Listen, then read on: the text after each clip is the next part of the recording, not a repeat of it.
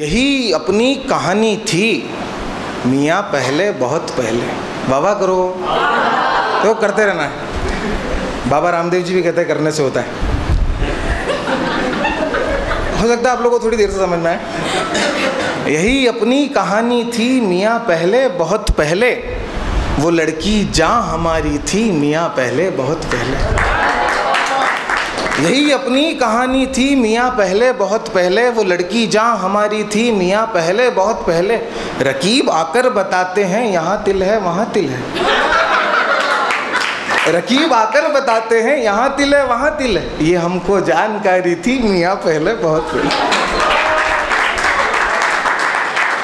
देखो, ऐसे ही आप लोगों को नालायक रहना मेरी तरह। मैं बचपन से हूँ उसमें मेरा कोई दोष नहीं है। आप मेरी संगति का थोड़ा असर लें।